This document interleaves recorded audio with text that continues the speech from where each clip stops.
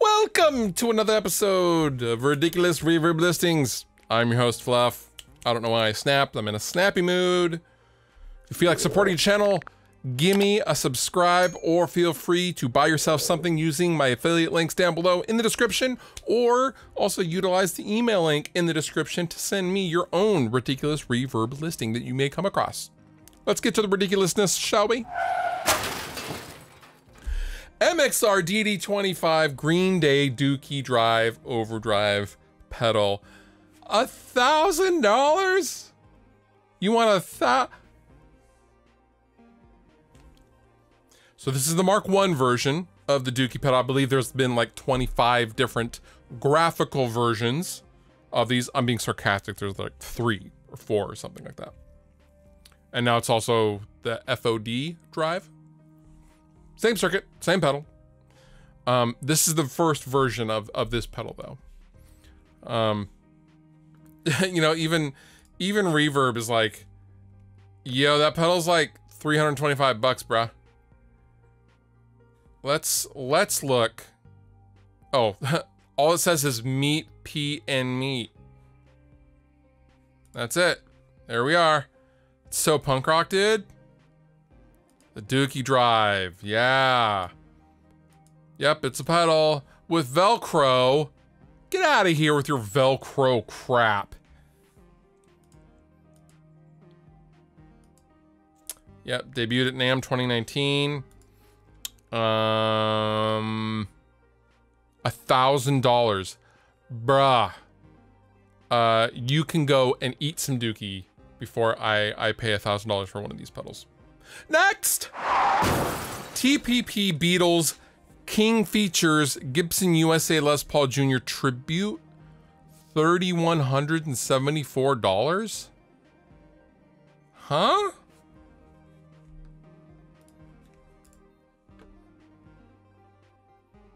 Uh, did someone really paint the, a Beatles cartoon on this damn thing?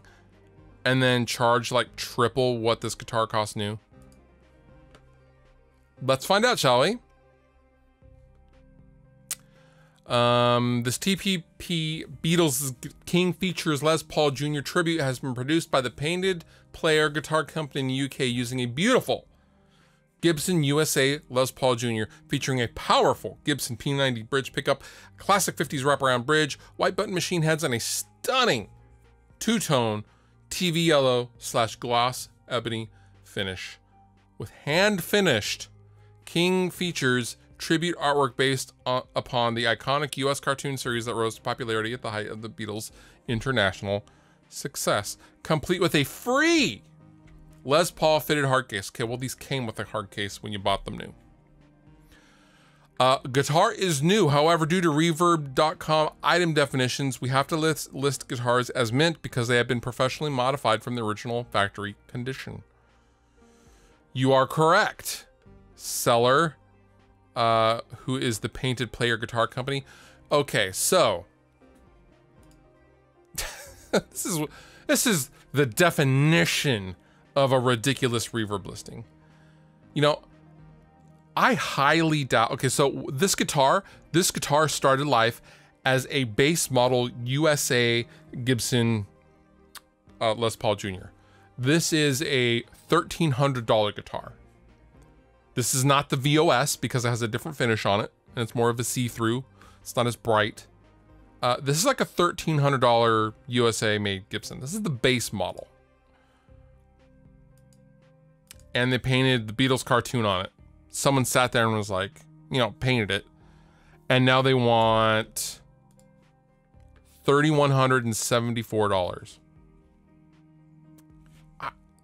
No one wants this. No one wants this. Not for $3,100. If it was still like 1200 bucks. Because uh, it's an inherently cool guitar. No one is looking like, I, I want a new, I want a new Gibson that has nothing to do with the Beatles with a Beatles painting on it. This is like an attempted, you know, this is a cash grab. This is an attempted that, you know, they're hoping someone will be like, oh, oh, this is going to be worth something someday. And then they buy it. And then like 30 years from now, the grandchildren are like, Is this worth something? Like, no, it's a $1,200 guitar painted with some crap on it. Moving on. Mesa Boogie sign, 2000 $675. Really? Just a, just, just a Mesa Boogie sign. That's a great picture. I don't know why this, uh, oh, there we go. Okay. Is this from like a storefront? Wow, it's all scratched up right there. Uh, for sale, original Mesa Boogie dealer sign. Okay. From the early 2000s. I'm the original owner and obtained it directly from Mesa while working at a retailer. There are some minor scratches, but otherwise in the same condition as I received it new. So a 20 year old Mesa Boogie sign for $675. Imagine the only people that would be stoked on this sign, honestly, you know, imagine the single guy. He has a place to himself and he has Mesa Boogie in the front room and his buddies come over and you're like, check it out, dude.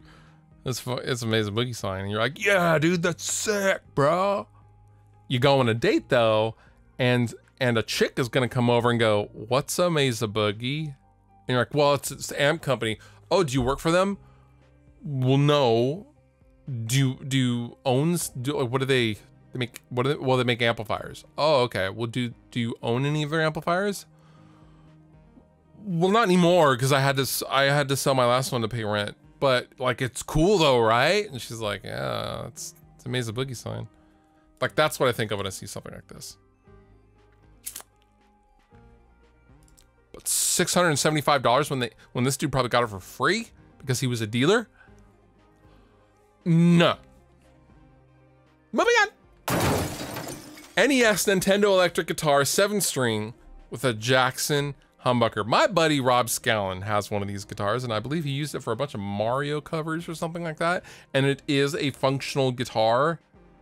This is an absolutely ridiculous guitar, though. Real talk. It's it's clean though. It's well done. It's cool. It's absolutely ridiculous. And I'm not I'm not saying it's ridiculously priced because that's not what I'm saying. This is a ridiculous guitar in all the best ways, and I love it. This is amazing. I wonder if that flap opens. Because, uh, you know, with the controls. They really took a real Nintendo. They hollowed it out. They put a wood block and then they, they bolted a guitar neck to it. And they made... They made an NES 7 string. That is absolutely ridiculous.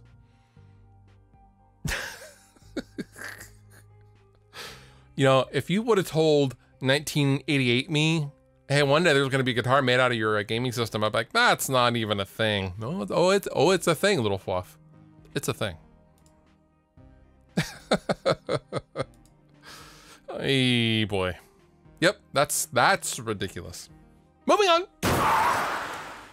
ESP MX 220 Eat Fuck James Hetfield 1989 first version super rare Oh my lord. $31,000. Look at this guitar though. Oh, this guitar is so sick. This guitar is so nasty. If I could own, I'm not that into Explorers. I would I would give I would sell I would sell my leg for one of these things. I would sell my firstborn Honey, if you're watching, dad doesn't mean that. I love you. Unless someone wants to trade or something. This guitar is amazing. It's so aggressively clean and it's just it's it's set to stun. It's going all in. This is an incredible guitar. The very first edition James Hetfield limited edition signature. That is so sick. That is so sick. With the middle finger inlays? Dude. $31,000. $31,000. off.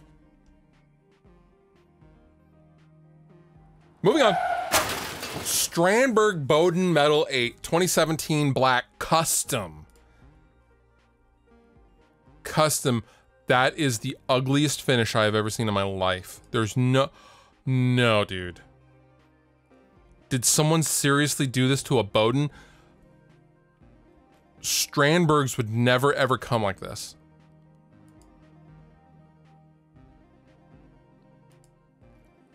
Oh my lord. Who would do this? It's literally been rattle canned. I, these potato, uh, oh.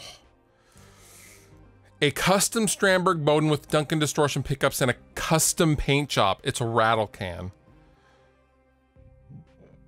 This will take your playing to the next level. Really nice and is great to play. These are sold out and the new ones come with black hardware. This is a rarity. I sell this so I can get money. Isn't that why everyone sells things? But this dude, this dude is asking $8,200 for this thing.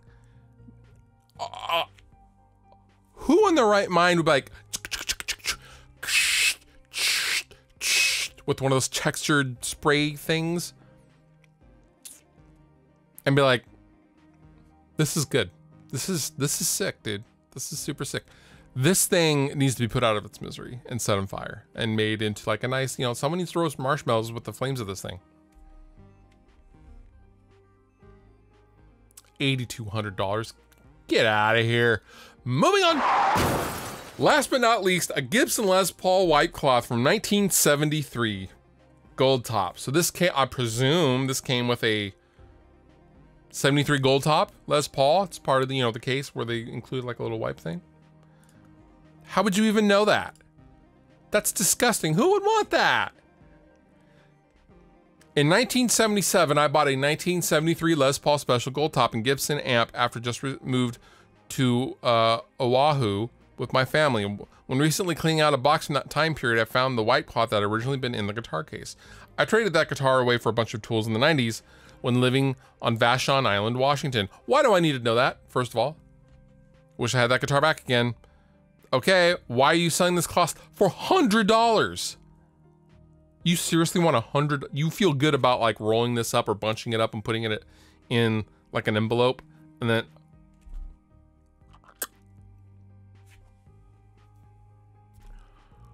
a hundred dollars for that nasty ass cloth from 1973. Who would even be impressed by that? You like you whip it out like, huh?